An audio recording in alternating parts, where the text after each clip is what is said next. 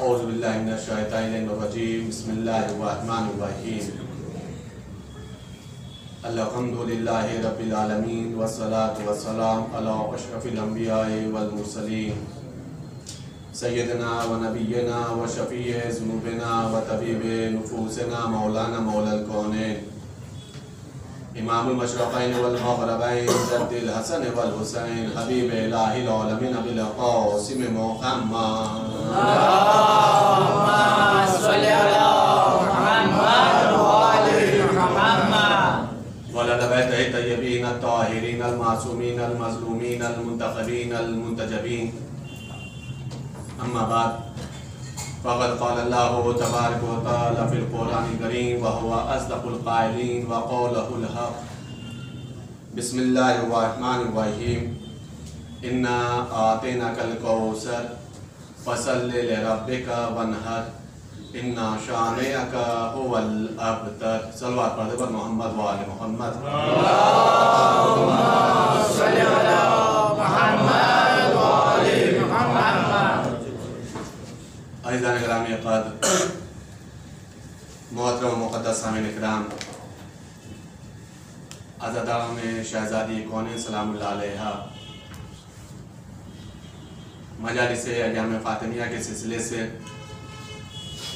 ان خمسہ مجالس کو انشاءاللہ تعالی سورہ کوثر کے ذیل میں گفتگو کی جائے گی۔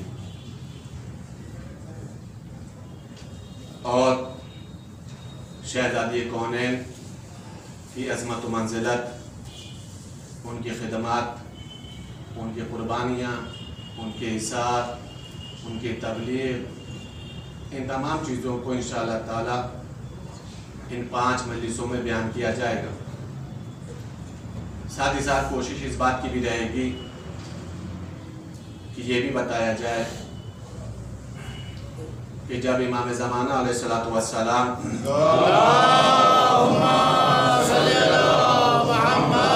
وآل محمد جب ظہور فرمائیں گے اور امام علیہ السلام جب دشمن اہل بیت سے انتقام لیں گے، تو اس وقت قاتلین زہرہ کے ساتھ کیا ہوگا؟ کیسا سلوک ہوگا؟ کس طریقے سے انتقام لیا جائے گا؟ انشاءاللہ تعالی یہ بھی بتانے کی کوشش کی جائے گی۔ شہزادی کونین چہادہ معصومین ہی نہیں، بلکہ کائنات میں اولین سے لے کر آخرین تک۔ ایک ایسی منفرد ذات ہے کہ جس کے برابر کائنات میں نہ کوئی مرد ہے، نہ کوئی عورت اکیلی ایک خاتون ہے، جس کا مقایسہ، جس کا مقابلہ، جس کا تقابل کسی سے نہیں کیا جا سکتا۔ شہزادی کونین کو وہ عظمتیں اور وہ منزلتیں حاصل ہیں اللہ کی نگاہ میں۔ اہل بیت کی نگاہ میں، پیغمبر کی نگاہ میں، امیر المومنین کی نگاہ میں کہ کوئی تصور نہیں کر سکتا کہ اٹھارہ سال کی عمر میں شہزادی کونین نے یہ تمام کے تمام کمالات مشیت سے یا نبوت سے یا ولایت سے کس طریقے سے حاصل کیے ہوں گے۔ اس لیے کہ اٹھارہ سال کی عمر کو اگر آپ اپنے ذہن کے اعتبار سے تصور کریں تو کوئی ایج بنتی ہی نہیں۔ کمالات کو، بلکہ کمالات کیا؟ کل کمالات کو حاصل کرنے کے لیے۔ کوئی ایسی فضیلت نہیں ہے جو خدا بند عالم نے لفظ فضیلت رکھا ہو اور وہ شہزادی کے اندر نہ ہو۔ لفظ فضیلت کہا جائے، لفظ مناقب کہا جائے اور وہ شہزادی کے اندر نہ ہو، یہ تصور کیا ہی نہیں جا سکتا۔ اس لیے کہ ہمارا اپنا ماننا یہ ہے کہ ہم فضیلت کہتے ہی اسے ہیں جو اہل بیت میں پائی جائے۔ فضیلتوں کو لفظ فضیلت بھی تبھی نصیب ہوتا ہے جب وہ در اہل بیت پر جبی نقصائی کر دیں جب وہ سجدہ ریز ہو جائیں اگر آپ نبوت کے اعتبار سے دیکھیں تو شہزادی کونین کے پیغمبر کی مشہور و معروف حدیث ہے، فاطمہ میرا ٹکڑا ہے، فاطمہ میرا جز ہے۔ اور اس کے بعد اللہ کے رسول یہیں پہ خاموش نہیں ہوا، بلکہ جملہ کہا ہے کہ جس نے فاطمہ کو اذیت دی، اس نے مجھے اذیت دی۔ اور جس نے مجھے اذیت دی ہے، اس نے اللہ کو اذیت دی ہے۔ اور اللہ کو اذیت دینے والا مسلمان نہیں ہے۔ بظاہر یہ اپنے آپ میں فضیلت کی حدیث ہے۔ لیکن اگر اس اعتبار سے دیکھیں تو ایک فرد بشر کی ناراضگی، مشیت کی ناراضگی ہے۔ اور ایک فرد بشر کی رضا، خوشنودی خوشنودی پروردگار بن جاتی ہے۔ یہ کوئی سوچے کہ خدا بند عالم نے آخر ذات زہرا میں رکھا کیا؟ کہ زہرا کی خوشی کو اللہ نے اپنی خوشی کہہ دیا۔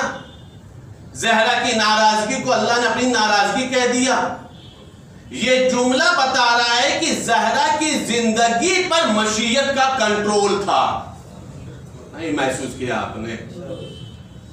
اللہ تبارک و تعالی ایسے ویسے کی ناراضگی اور خوشی کو اپنی ناراضگی اور خوشی معیار نہیں بنائے گا۔ ایسے ویسوں کی اللہ خوشی کو خوشی نہیں سمجھے گا، ایسے ویسے کی ناراضگی کو اللہ اپنی ناراضگی نہیں سمجھنے والا۔ اللہ کو اس بات کا علم ہے کہ زہرا جب تک زندہ رہے گی ویسی ہی زندگی گزارے گی جیسا میں چاہتا ہوں۔ اسی لیے اللہ نے زہرا کی رضا کو اپنی رضا قرار دیا۔ زہرا کی ناراضگی کو اپنی ناراضگی قرار دیا۔ اور جب آپ اللہ کی نگاہ میں دیکھیں، قرآن کی نگاہ میں دیکھیں، تو مشہور معروف سورہ کی میں نے تلاوت کی، جسے سورہ کوثر کہا جاتا۔ یہ ایک چھوٹا سا سورہ سورہ کوثر اپنے آپ میں شہزادی کے تمام فضائل کو سمیٹے ہوئے۔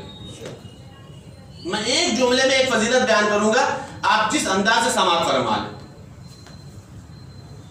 خلا کے کائنات ارشاد فرما رہا، بسم اللہ کے بعد۔ ان آتے نقل کوثر اے میرے پیغمبر، ہم نے آپ کو کوثر عطا فرمایا۔ ہم نے آپ کو کوثر دیا۔ پھر کیا کرنا ہے؟ کا فصل لے لے رب کا ونہر بس آپ نماز پڑھیے اور قربانی دیجیے۔ ان شان کا ہو الابتر بے شک آپ کا دشمن مقتول نسل ہے۔ یعنی آپ کے دشمن کی نسل نہیں چلے آیت میں تین باتوں کا حکم ہے۔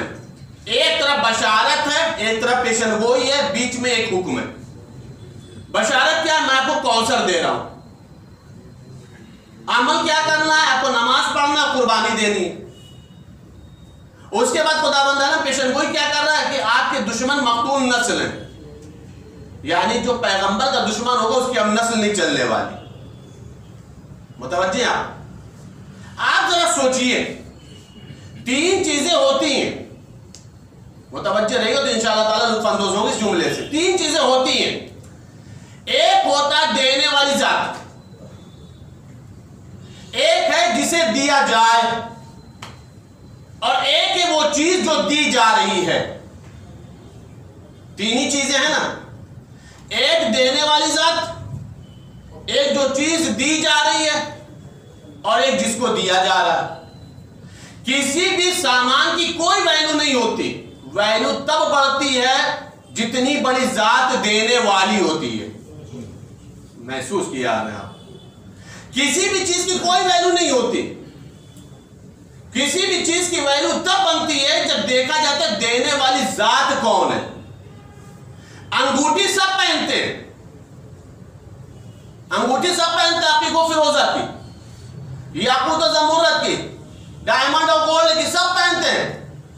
ہے یا نہیں؟ لیکن اگر یہی عقیق کی انگوٹھی ایت اللہ سستانی آپ کو دے دے۔ بھائی کہاں ہے آپ؟ یہی عقیق کی انگوٹھی۔ نائب امام نہیں، امام دے دے۔ تھی وہی انگوٹھی۔ آپ جا کر کے خرید لیں قیمتی سے قیمتی پتھر کی بھی خریدیں، تو اس انگوٹھی کی ویلو کتنی ہوگی؟ کیا بہت قیمتی پتھر تھا، کہا پانچ ہزار۔ بہت اچھے ڈھنگ سے ڈھال کے بنایا، کہا دس ہزار۔ بھائی، پوری کائنات تو قیمت نہیں بنے گی نا۔ کچھ بھی انگوٹھی کی ویلو کی پانچ اور دس روپے بہت ہو گیا، بھائی، اس سے زیادہ کی کوئی ویلو نہیں ہوتی۔ لیکن وہی انگوٹھی اگر آغا سستانی نے دے دیا اب ہم نے کہا بھائی، انگوٹھی آپ ہمیں تحفے میں دے دیجیے۔ کہا مولانا، کچھ اور مانگ لیجیے، یہ نہیں دوں گا۔ ہم نے کہا کیوں؟ کہا سستانی صاحب نے دیا۔ آپ کہیے گا تو میں ایران سے اس سے اچھی آپ کو دے دوں گا لا کر کے یہ نہیں دوں گا کہا کیوں کہا اس نے کہ سستانی صاحب نے دیا۔ ٹھیک ہے بھائی، کوئی بات نہیں۔ سستانی صاحب کو امام زمانہ دے دیں۔ وہ جو ہر زائر کو انگوٹھی یا کوئن سے سکے دیتے ہیں تحفے کے طور پر، کوئی زائر کہہ دے، سرکار، یہ انگوٹھی آپ ہمیں دے دیجیے۔ کہیں گے، نہیں بھائی، یہ مجھے میرے حجت نے دیا ہے۔ مجھے میرے امام نے دیا ہے۔ تو اس کا مطلب یہ ہے کسی بھی سامان کی، کسی بھی شے کی کوئی ویلو نہیں بنتی ہے۔ شے کی ویلو تب بنتی ہے کہ جب دیکھا جائے دینے والی ذات کون ہے۔ اب اب ترجمہ کریں امنا آتائنا کل کوثر اے میرے پیغمبر، میں نے آپ کو کوثر عطا کیا۔ دینے والی ذات اللہ سے بڑی کوئی ذات نہیں۔ لینے والی ذات پیغمبر سے بڑی کوئی ذات نہیں۔ اور جو چیز دیا جا رہا ہے کوثر کی شکل میں وہ فاطمہ تو زہرا ہے۔ عزیز۔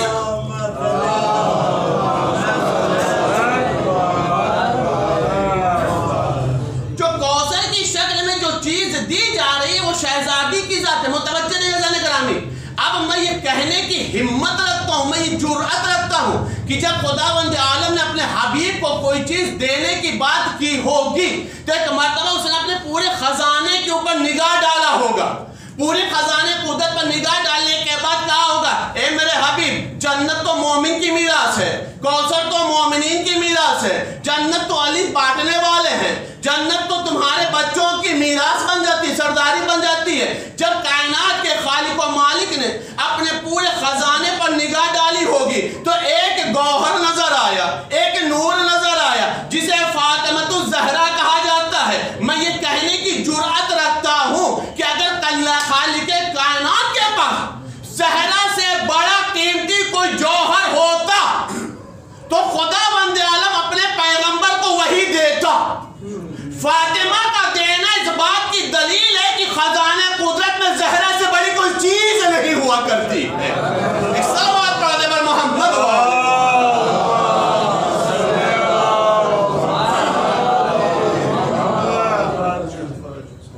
خزانے قدرت میں زہرا سے قیمتی کوئی شے نہیں۔ ہے خدا میں۔ فاطمہ زہرا سے قیمتی کوئی ذات نہیں ہے۔ اس لیے کہ دینے والی اپنی حیثیت دیکھتا ہے، میں دے کیا رہا ہوں؟ اپنی حیثیت کے مطابق۔ جس کو دیا جاتا ہے، اس کی بھی حیثیت دیکھی جاتی ہے۔ کہیں ایسا نہ میرا تحفہ ہلکا پڑ جائے۔ اب آپ سوچیں کہ زہرا کیا ہے، جسے خدا بند عالم پیغمبر کو عطا کر رہا ہے۔ پیغمبر اکرم حضرت محمد مصطفیٰ صلی اللہ علیہ وآلہ وسلم۔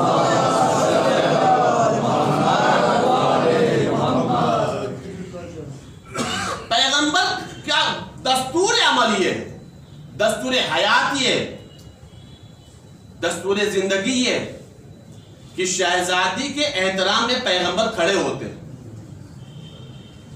میں نے یہ ایام فاطمیہ کیا جب پہلی روایت کے مطابق جو جمعہ تھا، اس میں خطبے میں اس بات کو عرض کیا تھا۔ لیکن اسی بات کو تھوڑا سا ہٹ کر کے گفتگو کر رہا ہوں، اس بات کو آپ محسوس کریے گا۔ پیغمبر بیٹی کے احترام میں کھڑے ہو جا رہے ہیں۔ اپنی آبائے مبارک بچھا دے رہے ہیں۔ پیغمبر اپنی جگہ پر زہرا کو بیٹھا دے رہے ہیں۔ اور جب کبھی بھی زہرا آتی ہے تو پیغمبر کھڑے ہو جاتے ہیں۔ یہ چیز تب سمجھ میں آئی کہ آخر پیغمبر کھڑے کیوں ہو رہے تھے؟ محسوس کریے گا ایزان گرامی۔ مولائیوں کا معاملہ ہے۔ مجمع ہے، شہزادی کے غلام بیٹھے ہیں۔ اور قسم خدا کی، اگر ہم نہ بولیں یا ہم نہ پڑھیں یا آپ نہ بولیں، آپ نہ پڑھیں تو پھر حق زہرا بیان کرنے والی قوم ہے کون؟ حق زہرا کون بیان کرے گا؟ اس لیے کہ کائنات میں غصب کرنے والے بہت ملے ہیں، بیان کرنے والی صرف ایک قوم ملی۔ ہے صرف اور صرف ایک قوم ملی ہے۔ یہ اللہ کا احسان ہے۔ ہم لوگوں کے اوپر کہ خدا بند عالم نے ہم لوگوں کا زہرا کا وکیل بنا کر پیش کیا ہے۔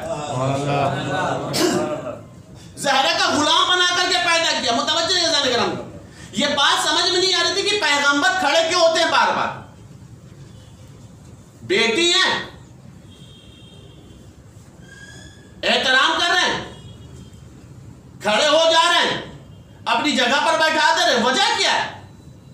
بات تب سمجھ میں آئی جب شہزادی کونین نے خود اپنا تعارف کرایا بعد پیغمبر۔ متوجہ رہی گا گرامی۔ بات تب سمجھ میں آئی کہ پیغمبر کھڑے کیوں ہو رہے تھے؟ روایت کے جملے ہیں کہ شہزادی نے دو موقع پر اپنا تعارف کرا کہ میں ہوں کون؟ ایک دیکھیں میں مسائل نہیں پڑھ رہا ہوں، صرف بات آئی تو عرض کر رہا ہوں۔ ایک، اس وقت کہ جس وقت دروازے کو آگ لگانے کے لیے لائن کھڑے ہوئے تھے۔ ملعون کھڑے ہوئے تھے۔ اس وقت زہرا نے پشت دروازے سے جملہ کہا تھا، اے لمو انی فاطمہ۔ اے لوگوں، جان لو میں فاطمہ ہوں۔ متوجہ رضا نگرامی پیغمبر کھڑے کیوں ہوتے تھے؟ یہ بات سمجھا رہا ہوں میں۔ اے لمو انی فاطمہ، جان لو میں فاطمہ ہوں۔ مطلب سمجھے، اگر تم بھول گئے ہو کہ میں وہ ہوں جس کے لیے پیغمبر کھڑے ہوتے تھے تو پھر بھی میں تمہیں پہچنوا رہی ہوں۔ میں تمہیں پہچنوا رہی ہوں، میرے دروازے میں آگ نہ لگاؤ۔ ایک موقع وہ تھا۔ دوسرا موقع وہ تھا کہ جس وقت بی بی زہرا نے اپنے حق کا مطالبہ کیا ہے، باقی فدق کے لیے۔ ہبا کا مسئلہ رکھا تھا۔ اس وقت بی بی نے خطبے کی جو شروعات کی ہے بعد حمد و ستائش پروردگار، تعریف پروردگار اس کا ایک جملہ کا اے لمو انی فاطمہ۔ یہ شہزادی نے دو ہی مرتبہ ارشاد فرمایا۔ جان لو میں فاطمہ ہوں۔ یہاں پہ کہنے کی کیا ضرورت تھی؟ یہاں پر کہنے کی کیا ضرورت تھی؟ ایک پوچھتے دروازہ سے کہا اے لمو انی فاطمہ، جان لو میں فاطمہ ہوں۔ اور ایک دربار میں جا کر کے کہا اے لمو انی فاطمہ، جان لو میں فاطمہ ہوں۔ عزیزان گرامی، جب ان دونوں روایتوں کو آپ پیغمبر کے زمانے سے ملائیں گے، تب بات سمجھ میں آئے گی مسئلہ کیا تھا کہ پیغمبر بار بار شہزادی کے احترام میں کھڑے ہوتے تھے۔ جتنی مرتبہ زہر آتی تھی، اتنی مرتبہ کھڑے ہوتے تھے۔ جس دن آتی تھی، اس دن احترام میں کھڑے ہوتے تھے۔ کیوں؟ ہوتا یہ ہے کہ ضروری نہیں کہ روزانہ ہر نماز میں ہر صحابی موجود ہو۔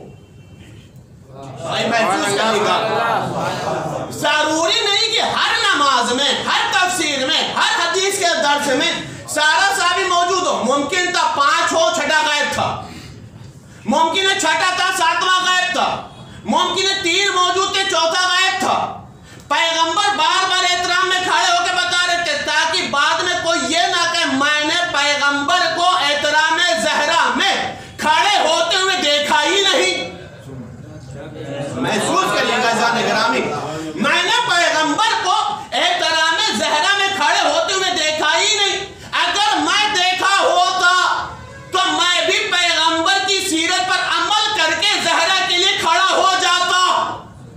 لیکن تاریخ کے جملے یہ ہیں کہ جب زہرا نے دربار میں کہا علم انی فاطمہ، جان لو میں فاطمہ ہوں، تو کوئی کھڑا نہیں ہوا تھا۔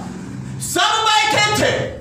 اور کسی نے زہرا کو بیٹھنے کے لیے بھی نہیں کہا۔ پیغمبر کی سیرت کا جسٹ الٹا ہو رہا تھا۔ پیغمبر کی سیرت کے جسٹ الٹا کر رہے تھے یہ۔ پیغمبر کھڑے ہوتے تھے، یہ کھڑے نہیں ہوئے۔ پیغمبر اپنی جگہ پر بیٹھاتے تھے، یہ پیغمبر جگہ کو چھوڑنے کو تیار نہیں ہے میں نے کہا، یا رسول اللہ، اتنا کرنے کا فائدہ کیا ہوا کہ جب لوگ زہرا کو بیٹھنے کے لیے نہ کہیں، زہرا کے احترام میں کھڑے ہونے کے لیے نہ کہیں۔ اچھا، اجب نہیں پیغمبر جواب دے، میں دنیا کے اوپر حجت تمام کر رہا ہوں۔ دنیا والوں یاد رکھ لو، زہرا اس منفرد شخصیت کا نام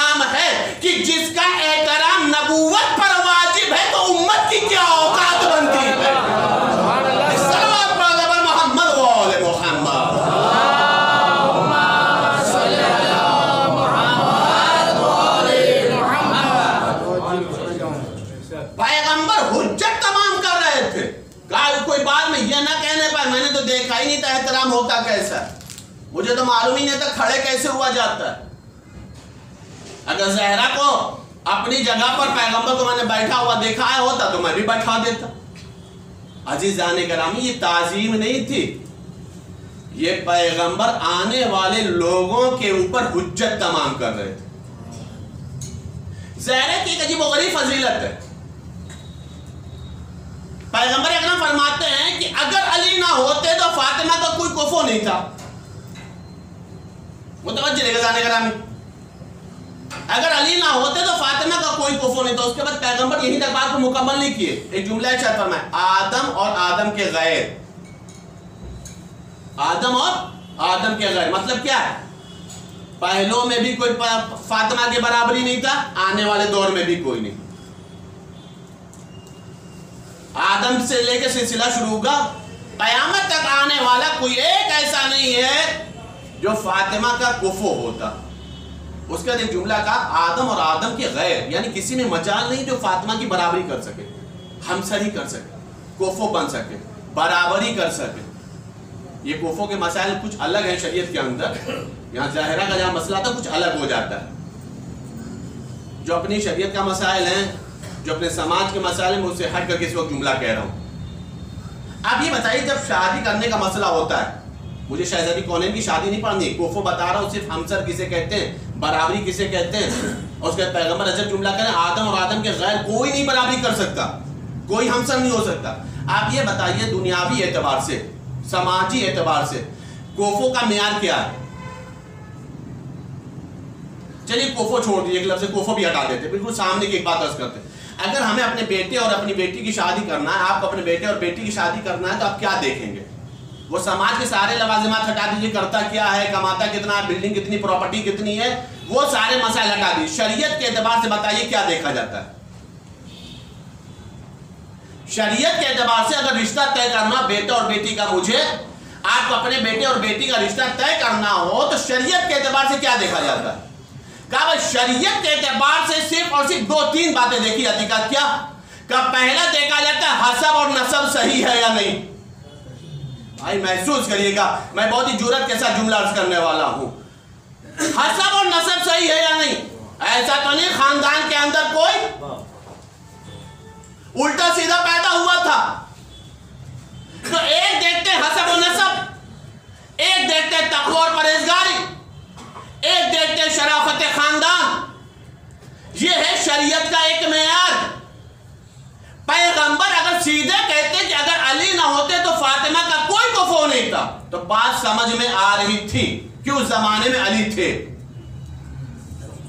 لیکن جو حدیث آپ سنتے رہتے میں اس میں ایک عجیب و غریب بات عرض کر رہا ہوں۔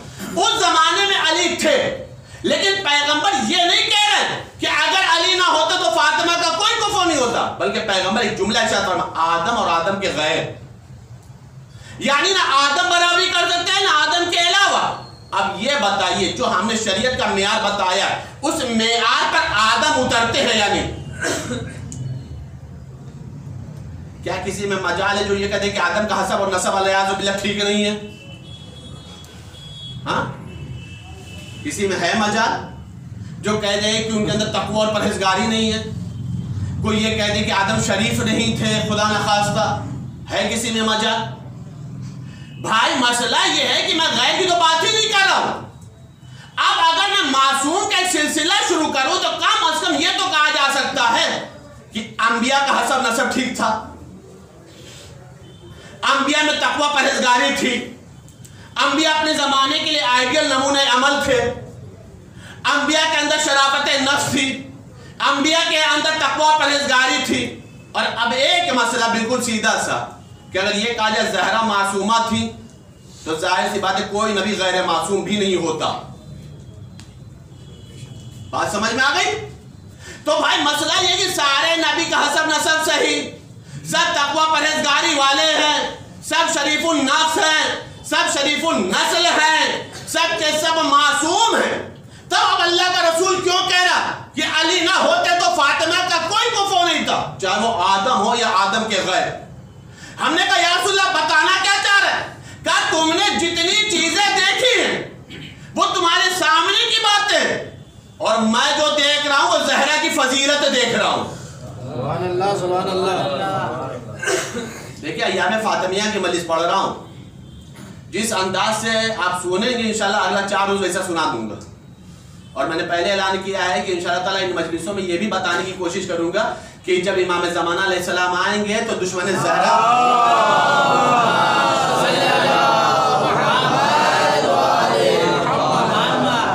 سے کیسے بدلہ لیں گے؟ لیکن یہ آپ کے اوپر ہے مناسب کہ آپ کس انداز سے سننا پسند کرتے ہیں۔ مسئلہ یہ کہ حساب نصب شرافت تقوی پرہیزگاری سب کچھ انبیاء میں معصوم ہے پھر اللہ کا رسول کہہ رہا ہے کہ کوئی کفو تھا ہی نہیں۔ آدم آدم کا غیر میں بھی کسی میں مجال نہیں جو زہرا کے میری بیٹی کا مقابلہ کر سکے۔ کہا کیوں؟ کہا زہرا کی فضیلت دیکھو، پھر انبیاء کی فضیلت کو دیکھو۔ تب سمجھ میں آئے گا زہرا کیا۔ ہم نے کہا میرے پیغمبر کیا فضیلت ہے؟ کہا دیکھو، آدم کو اللہ نے خلق کیا۔ خلقت میں ہی فرق رکھا۔ آدم کو پیدا کیا تراب سے، زہرا کو پیدا کیا اپنے نور سے۔ اللہ، سبحان اللہ زہرا کو پیدا کیا اپنے نور سے۔ اللہ خالق النور السماوات والارض۔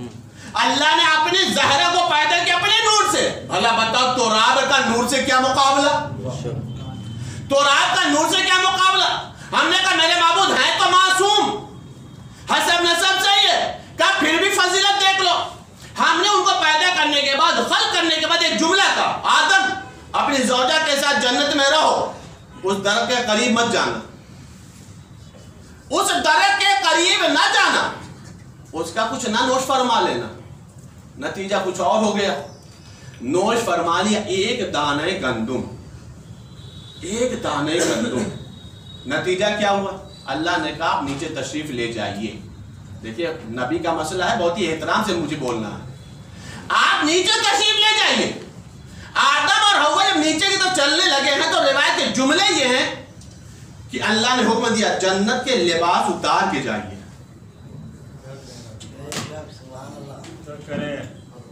جنت کے لباس اتار کے جائیے۔ کہا میرے معبود کیوں؟ کہا چونکہ جنت کا لباس ہے، جنت میں رہے گا۔ آپ آپ جنت چھوڑ کے جا رہے ہیں۔ لہذا آپ نیچے اپنا انتظام کر لیجیے گا، آپ کو اپنا کیسے چلنا ہے؟ کیسے جنت کا لباس نہیں اتارنا، لباس نہیں لے کے جانا۔ تاریخ کے جملے یہ ہیں کہ اللہ نے اپنے ہاتھوں سے خلق کیا، قرآن کے جملے خلق تو بے یدیہ میں نے اپنے دونوں ہاتھوں سے آدم کو خلق کیا۔ اور خلق کرنے کے بعد جب زمین پر بھیجا ہے، تو آدم اتنا غریب ہو گیا کہ بغیر لباس کے آیا۔ جنت کا لباس چھوڑ کر کے آنا پڑا۔ ہم نے کہا، میرے معبود کہنے کا مطلب کیا کہ اب بھی زہرے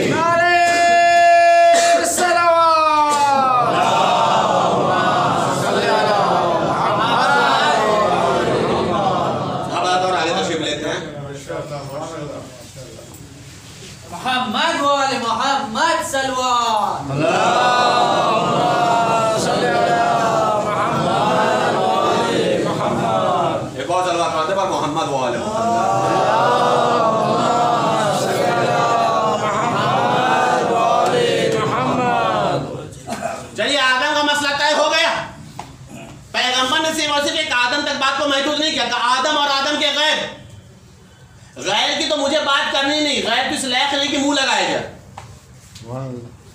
ان کو مخاطب بنایا جائے۔ اب مسئلہ معصوم ہی کا سلسلہ رکھتا ہوں۔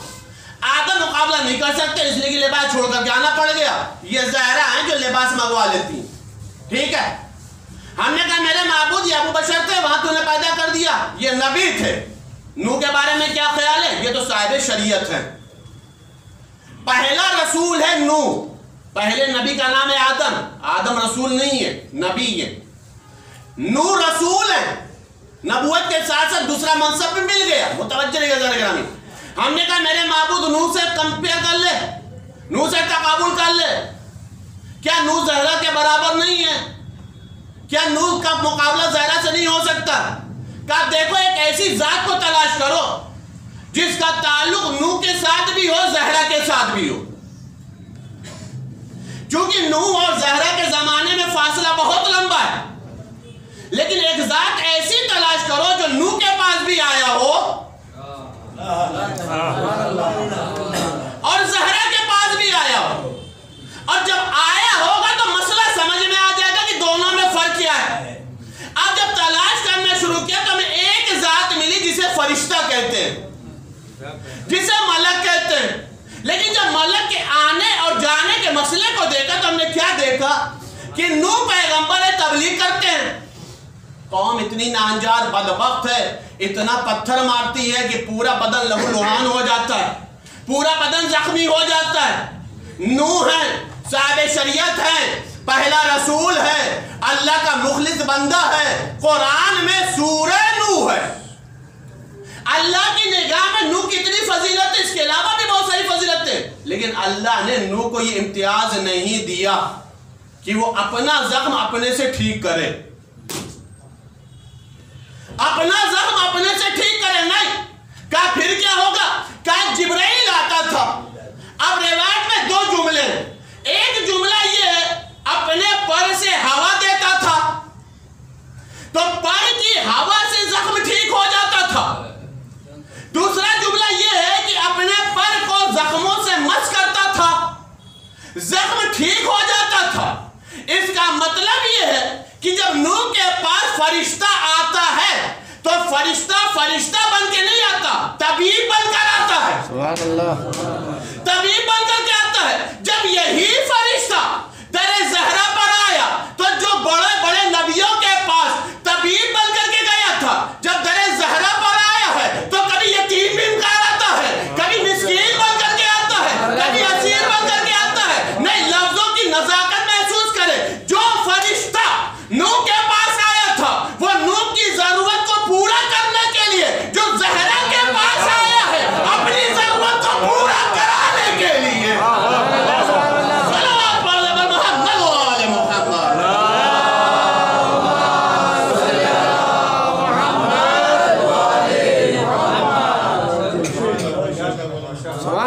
سبحان اللہ. سبحان اللہ نوح کے پاس فرشتہ آیا تھا وہ نوح کی ضرورت کو پوری کرنے کے لیے۔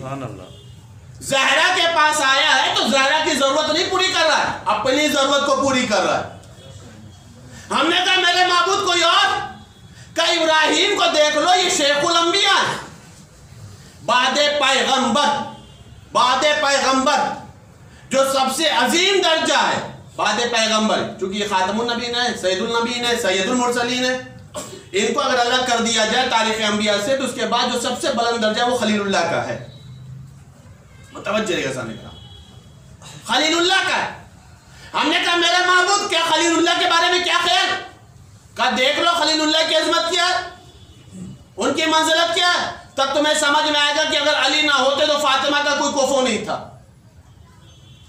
اگر علی نہ ہوتے تو فاطمہ کا کوئی کوفو نہیں تھا۔ ہم نے کہا میرا معبود کیسے طے ہوگا؟ کہا، دیکھو خلیل اللہ کا مسئلہ کیا ہوا؟ کیا ہو گیا؟ کہا، انہیں نارے نمرودی میں ڈالا گیا۔ نارے نمرودی میں ڈالا گیا۔ قسم خدا کی ہماری جانیں قربان ہو جائیں شہزادی کے غلام بننے پر۔ صرف اور صرف غلامی کے اوپر۔ شہزادی کی ذات تو بڑی ذات ہے۔ شہزادی کا درجہ تو بہت درجہ ہے۔ جس جملے تک لانا چاہے اس جملے کا محسوس کریے گا۔ نارے نمرودی میں ڈالا گیا۔ اللہ نے قرآن کریم کے اندر آیت رکھی۔ یا نارو کونی بردوں و سلامن علی ابراہیم۔ یہ آیت ابراہیم پر ٹھنڈی ہو جا، لیکن ہمیں ایک دم نہیں، کتنا ایسی ٹھنڈی ہو کہ ابراہیم سلامت رہے۔ اگر بہت ٹھنڈی ہو جاتی تو بھی ابراہیم کے لیے خطرہ۔ گرم تھی تو پریشانی تو تھی ہی۔ تو اللہ نے صرف اور صرف بردوں کا لفظ استعمال نہیں کیا کہ لفظ رکھا کہ ابراہیم کے اوپر آگ ٹھنڈی ہو جا۔ لیکن کیسے؟ سلامتی کے ساتھ۔ یعنی آگ جلتی رہے لیکن میرا خلیل سلامت رہے۔ میرا خلیل سلامت رہے۔ ہم نے کہا میرا معبود، اس سے مطلب کیا ہوگا؟ متوجہ رہے گا جانے گرامی۔ میں نے ایک جملہ کہا کہ ہماری جانے قربان شہزادی کی غلامی کے اوپر۔ کہا ہم نے میرے معبود، اس سے فرق کیا پڑا؟ کہا تم سمجھے نہیں۔ ابراہیم آگ میں ڈالے گئے۔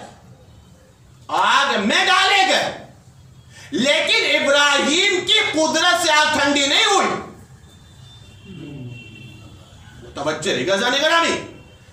اگر نہ سمجھ میں تو پوچھ لیجیے گا، ابراہیم کی قدرت سے نہیں ٹھنڈی ہوئی۔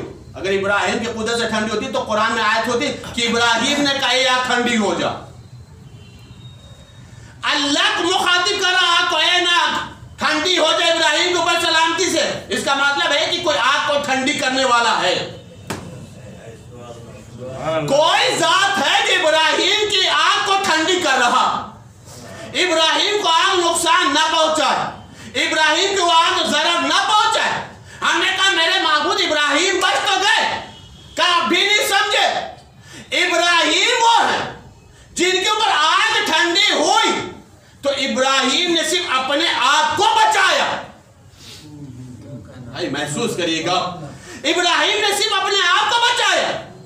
روایت کے جملے کیا آگ اتنی بلند تھی، اتنی بلند تھی کہ اگر پرندہ بھی اوپر سے پرواز کرتا تو جل کے نیچے آ جاتا۔ مطلب کیا ہوا؟ مطلب یہ ہوا کہ پرندے کو نہیں بچایا گیا۔ پرندے کو ابراہیم نہیں بچا سکے۔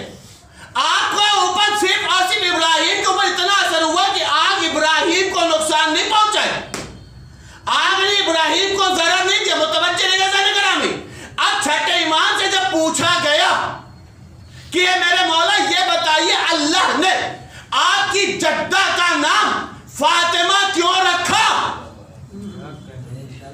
اللہ نے آپ کی جدہ کا نام فاطمہ کیوں رکھا؟ تو میرے مولا نے جملہ فرمایا، میری جدہ کا نام اللہ نے فاطمہ اس لیے رکھا کہ فاطمہ کے معنی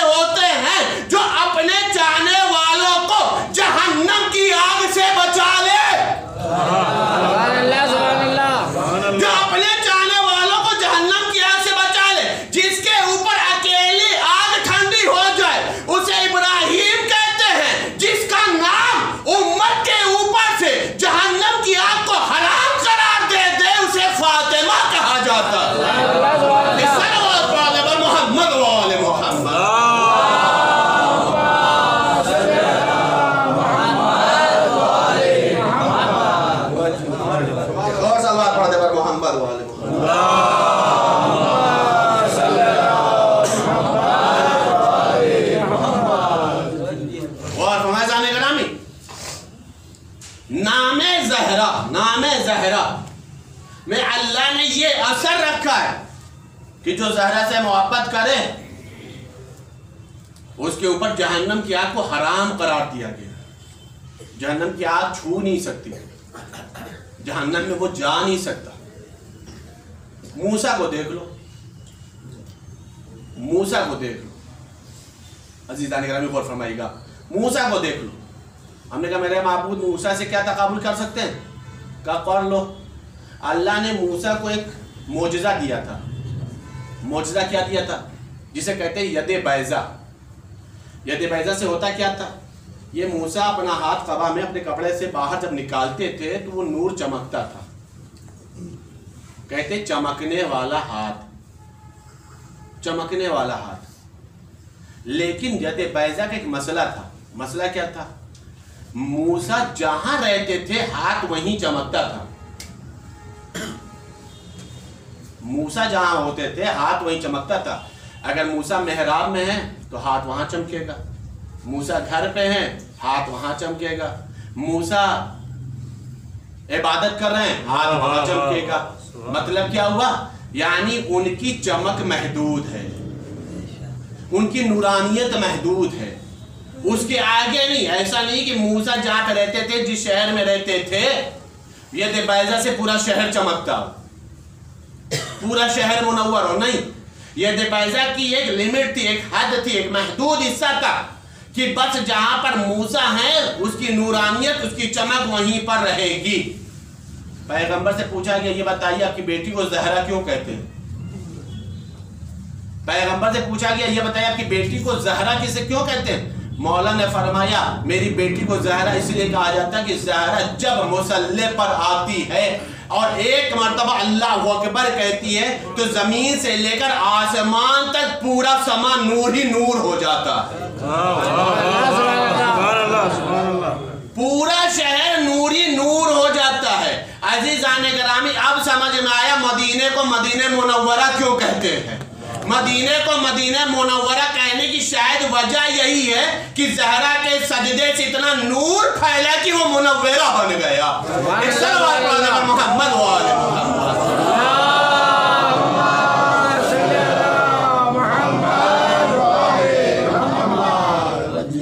عزیزان گرامی، تو کسی نبی میں نہیں ہمت، آدم ہو یا آدم کے غیر؟ کسی میں یہ طاقت نہیں ہے۔ کہ وہ زہرا کا مقابلہ کر سکے۔ اسی لیے پیغمبر نے فرمایا، اگر علی نہ ہوتے تو فاطمہ کا کوئی کفو نہیں تھا۔ اگر بات یہاں تک تو ایک بات سمجھیے۔ کوفو نہیں تھا مطلب یہ ہے کہ علی نے اپنی پوری زندگی میں جتنے فضائل حاصل کیے ہیں، اتنے فضائل زہرا حاصل کر کے اٹھارہ سال میں شہید ہو گئی۔ تبھی تو کوفو ہوگا نا، تبھی تو برابری ہوگی۔ نا تمام کے تمام کمالات۔ شہزادی کونے نے صرف اور صرف اٹھارہ سال میں حاصل کیے۔ بس ایک روایت پڑھ رہا ہوں ان شاء اللہ تعالیٰ کل بات یہی سے شروع کروں گا۔ امیر المومنین آئے اور آنے کے بعد جیسے ہی بیت الشرف میں قدم رکھا ہے، وہ توجہ رہے گا گرامی، دیکھیے، آئمہ میں اور شہزادی کونے کا کوئی تقابل نہیں ہے۔ قرآن کی آیت نبی اور رسول کے لیے ہے تلک رسول فضلنا بعضهم علی بعض۔ ہم نے بعض رسولوں کو بعض پہ فضیلت عطا فرمائی ہے۔ لیکن اہل بیت کے لیے نہیں ہے۔ اہل بیت کے لیے ہے اولنا محمد اوسطنا محمد و کلنا محمد۔ ہم سب کے سب محمد ہیں۔ اس کا مطلب کیا ہے کہ جو ایک کو فضیلت ہے، وہ دوسروں کو ہے۔ بس فرق یہ کسی کو ظاہر کرنے کا موقع ملا ہے، کسی کو ظاہر کرنے کا موقع نہیں ملا۔ متوجہ لکھے جانے گرامی ایسا نہیں کہ گیارہ امام خطیب ممبر سلونی نہیں ہے۔ سب خطیب ممبر سلونی ہے بس فرق یہ کہ ایک علی نے دعوی سلونی کیا، باقی خاموش رہے۔ متوجہ؟ امیر المومن گھر کے اندر تشریف لے۔ جیسا ہی ہے تو دیکھا کہ زہرا بیٹھی ہوئی۔ تسبیح پڑھ رہی۔ علی آیا، علی آ کر کے سامنے بیٹھ گئے۔ تھوڑی دیر کے بعد زہرا نے تسبیح کو روکے، روکنے دیکھ جملہ کہا۔ یا علی، آپ سے ایک بات کہنی تھی۔ علی نہ ہوتے تو فاطمہ کا کوئی کوفو نہیں تھا۔ متوجہ دے گا بس آخری ایک بات عرض کر رہا ہوں۔ یا علی ابو الحسن، ہمیں آپ سے ایک بات کہنی کا کیا بات کرنی کہا، ابو الحسن، بیٹھیے۔ میں چاہتی یہ ہوں کہ آپ کو وہ باتیں بتاؤں جو گزر چکی ہیں۔ وہ باتیں بتاؤں جو ہونے والی ہیں اور وہ باتیں بتاؤں جو کبھی نہیں ہوں گی۔ مطلب سمجھے آپ؟ یعنی زہرا علی کے سامنے اپنے علم کا اظہار کر رہی جو کچھ ہو گیا ہے، آدم کا سلسلہ جو چل رہا ہے، جو کچھ ہو گیا، جس زمانے میں بیٹھی، میں بتا دوں آپ کو۔ بیٹھے بیٹھے۔ جو کچھ ہونے والا قیامت تک، وہ بھی میں آپ کو بتا دوں۔ جو کچھ ہونے والا۔ اور جو کبھی ہوگا نہیں، صرف اور صرف بات کی بات بنی رہ گئی ہے وہ۔ وہ بھی میں آپ کو بتا سکتا ہوں۔ علی نے سنا نہیں۔ علی نے سنا نہیں، ایک جملہ کا۔ بنت رسول بیٹھیے میں آتا ہوں۔ گئے اٹھے، مسجد میں پہنچے۔ مسجد میں پہنچنے کے بعد ایک مرتبہ علی کو دیکھ کر رسول مسکرائے۔ اور مسکرانے کے بعد رسول نے ایک جملہ کہا، میری بیٹی نے جو بات کہی ہے وہی پوچھنے آئے ہو۔ بھائی محسوس کریے گا آپ۔ میری بیٹی نے جو دعویٰ کیا وہی پوچھنے آئے ہو۔ علی نے کچھ اب جواب نہیں دیا، ظاہر سی بات ہے، جب سارا راز انکشاف ہو جائے، منکشف ہو جائے تو علی کیا پوچھتے؟ کہا، یار، تجھے کچھ پوچھنا نہیں۔ واپس گئے تو زہرا نے پلٹ کے سوال کر لیا۔ گئے تھے یہ دعویٰ کی تصدیق کرانے۔ محسوس کریے گا۔ یہ کہتے میرے بابا کے پاس۔ عزیزان گرامی، قسم خدا کی میری مجال نہیں کہ میں علی کا اور زہرا کا مقابلہ کروں، تقابل کروں۔ نہیں عزیزان گرامی، مسئلہ یہ زہرا نے یہ دعویٰ پیش کیوں کیا؟ زہرا نے یہ چیلنج کیوں کیا؟ زہرا نے یہ سوال علی کے سامنے کیوں رکھا؟ مسئلہ یہ ہے کہ زہرا جانتی ہے، میرے بابا کے علی کو بھلے پچیس سال کے بعد ہی ممبر ملے، لیکن ملے گا۔ اور جب علی کو ممبر ملے گا تو علی کہیں گے، پوچھو پوچھو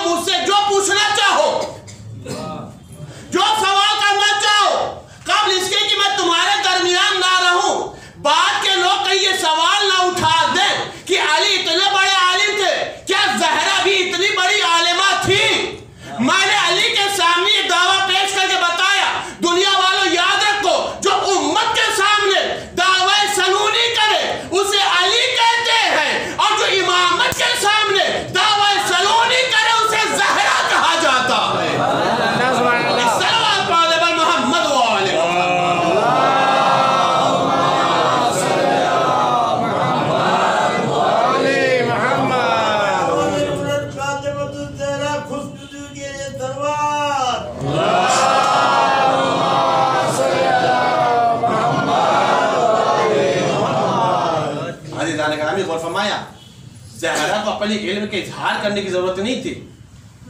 یہ کوفو بتا رہے تھے کہ جتنے بڑے عالم کا نام علی ہے، اسی اتنی ہی بڑی عالمہ کا نام زہرہ ہے۔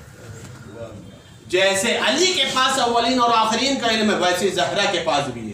بس فرق ہے کہ مجھے ممبر نہیں ملے گا۔ اس لیے میں ایسے کے سامنے پیش کر رہی ہوں، دعویٰ۔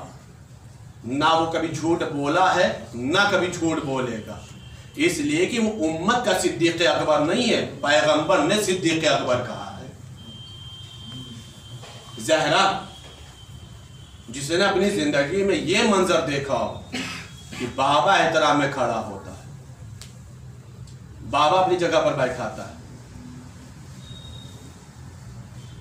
اس وقت اس زہرا کے دل پہ کیا گزری ہوگی؟ کہ اسی زہرا کے دروازے پر لوگ آگ اور لکڑیاں لے کر اکٹھا ہو جائے کچھ مصیبتیں ایسی ہیں، کچھ مصیبتیں ایسی ہیں کہ جنہیں میں صرف تصور کر سکتا ہوں، آپ اپنے حساب سے تصور کر لیجیے گا، ان مصیبتوں کو کبھی بھی لکھا نہیں جا سکتا، کبھی نہیں لکھا جا سکتا ان چیزوں کو۔ اس لیے کہ تحریر میں جذبات نہیں ہوتے، جذبات دل میں ہوتے قلب میں جذبات ہوتے ہیں۔ محسوس کرنے کے لیے تحریر کی ضرورت نہیں ہوتی، دماغ کی ضرورت ہوتی۔ میں آپ کو ایک زہرہ کی کیا، بلکہ یہ کہا جائے کہ خواتین بنی ہاشم کی ایک مصیبت بتاؤں۔ تو سمجھ میں آئے گا کہ اہل بیت کتنے مظلوم کا نام ہے۔ بنی ہاشم میں کچھ خواتین ایسی ہیں کہ جو عمر سے پہلے بوڑھی ہو گئی ہیں۔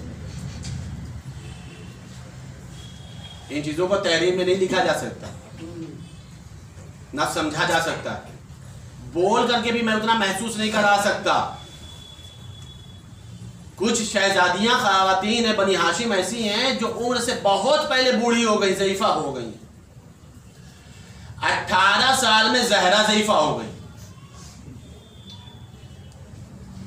پچپن، چھپن سال میں زینب ضعیفہ ہو گئی پانچ سال میں سکینہ ضعیفہ ہو گئی چھ، سات سال میں سوگرا ضعیفہ ہو گئی آپ یہ بتائیے کہ اٹھارہ سال کی عمر کسی ضعیفہ کا نام ہے؟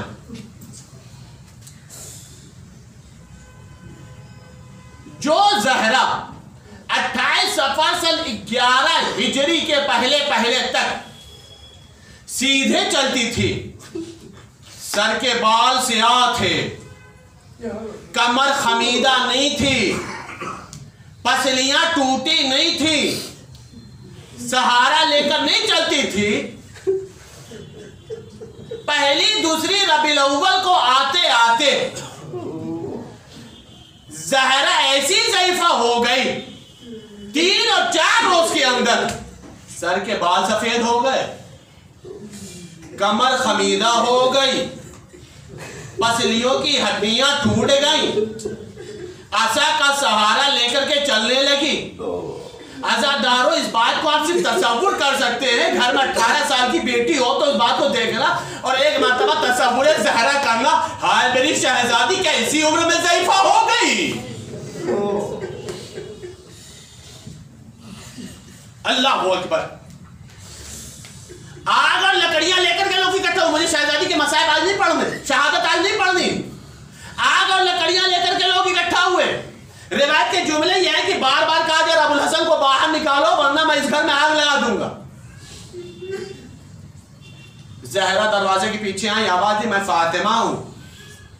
لائن جملہ کا ہوا کرے دیکھیے، یہ ہمارا پڑھنا بہت آسان ہے۔ اس بات کو صرف آپ محسوس کریے۔ ہوا کرے کا لفظ وہاں پر ہوا کہا جاتا ہے، جہاں پر اس ذات کی کوئی اہمیت نہ ہو۔ کا ہوا کرے زہرا نے اندر سے آواز دیا کہ میں ابو الحسن کو باہر نہیں نکالوں گی۔ جب بہت تکرار بڑی ہے تو روایت کے جملے یہ ہیں، مقاتل لکھتے یہ ہے کہ دروازے میں آگ لگا دی گئی۔ جب دروازہ جلنے لگا شولے بھڑکنے لگے ہیں۔ تو ایک مرتبہ جب پوری طرح سے دروازہ خاکستر ہو گیا، تو ایک ملعون نے پیر سے ایسی ٹھوکر ماری کہ وہ جلتا ہوا دروازہ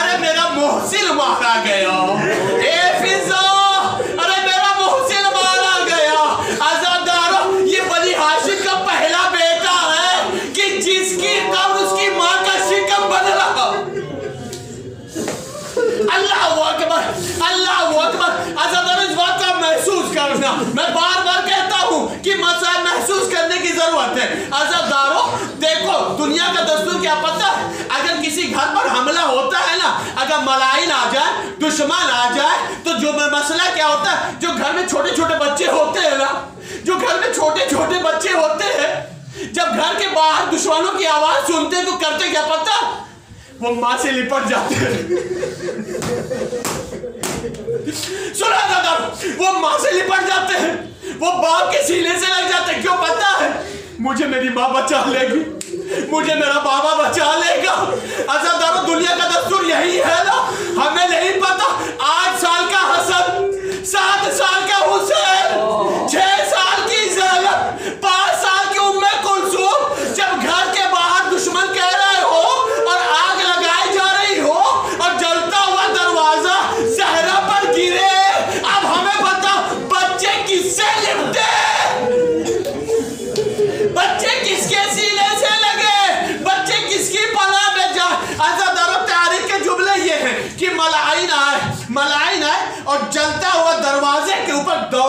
گھر میں داخل ہوئے۔ بس ازاداروں میں لسہ مان کر رہا ہوں۔ چلتے ہوئے دروازے پہ دوڑتے ہوئے گھر میں داخل ہوئے۔ زمین نیچے ہے۔ زہرہ زمین کے اوپر گر گئی ہے۔ چلتا ہوا دروازہ اوپر ملائی دوڑ رہے ہیں۔ ازاداروں شکم میں موصل ہے۔ جب دوڑ رہی ہوں گے تو ماں کا دل ہے۔ زہرہ ہے۔ وہ کتنی تڑپی ہوگی۔ وہ کتنا بے چین ہوئی ہوگی؟ وہ کتنا مسترب ہوئی ہوگی؟ مجھے نہیں پتا۔ لیکن مقاتل ایک جملہ لکھا ہے۔ ارباب مقاتل کہتے ہیں زہرہ کو ابھی بھی اپنے غم کا احساس نہیں ہے پتہ کیا ہوتا زہرہ نے ایک ہاتھ سے ابو الحسن کی ابا کو پکڑا۔ ابو الحسن کی ابا کو پکڑا۔ کیوں پتا ہے؟ میں جل رہی ہوں، میرے اوپر دروازہ گرا ہے، لیکن ابو الحسن کو بچانا ہے۔ ابو الحسن نہ جالے پائے۔ مقاتل قیامت کا جملہ لکھا۔ عزدار صاحب علیہ اولاد السلہ مقاتل لکھتے یہ ہے کہ قنفوز ملاؤن آگے بڑھا اور اس نے دیکھا زہرہ کی مٹھی میں ابو الحسن کی آبا ہے، جو زہرہ چھوڑ نہیں رہی ہے ایک مرتبہ نے ایک تازیانہ لیا اور بطول کے شالے پر